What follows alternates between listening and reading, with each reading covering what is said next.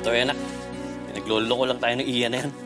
Kung totoo man yan, hindi ibig sabihin inosente yung asawa niya. Alam ko, Tay. Pero baka mamaya tayo masampahan ng fabrication of false witness. Bakit tayo madadawit? Eh, wala naman tayo kinalaman doon sa witness na yun. Yun na nga po eh. Hindi natin alam o kilala kung sino man yun. Baka mamaya tayo ituro nila. Jose, makinig ka sa anak mo. Baka nga mas mabuting iurong na natin yung demanda. Hindi natin uurong ang demanda, Monica.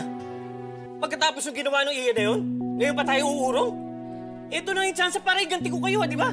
Jose, hindi ko naman hinihingi na iganti mo ako eh. O yung mga anak mo.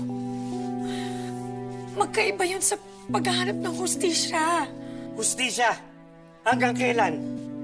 Hanggang kailan tayo maghihintay ng hustisya, Monica? Ito na yung pagkakataon eh. Kahit wala naman tayong hawak laban kay Maggie. Kahit puro kasinungalingan naman yung sinabi ng witness. Tama ba yun? Jose, hindi ito yung prinsipyo na tinuro mo sa mga anak mo. Prinsipyo ko nagdala sa ating lahat dito. Kung noon pa lang lumaban ako katulad ng iya na yon, hindi ka sana nakaupo dyan.